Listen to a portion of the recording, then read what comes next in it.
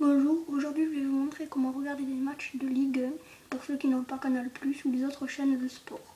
Tout d'abord on va dans Google et on tape From Sport comme ceci. On fait entrer. On prend le premier lien. Et là on voit tous les matchs de football qu'il y a aujourd'hui. Mais il y a aussi du hockey, du tennis, du basket, du baseball, du golf, de la moto, du vélo et d'autres sports. Si par exemple je veux regarder Lyon, Saint-Etienne qu'il y a aujourd'hui, je descends et je vois qu'il y a plusieurs liens. Et il est écrit que c'est de la Ligue 1. Par exemple, si je prends le premier lien, ça charge. Il y a toujours des publicités, il faut attendre 20 secondes avant qu'elles s'enlèvent. On va attendre.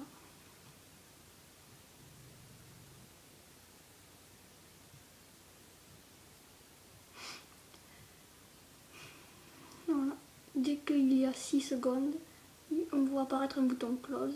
Voilà, on peut fermer la publicité et là on voit le match en direct. On peut le mettre en plein écran.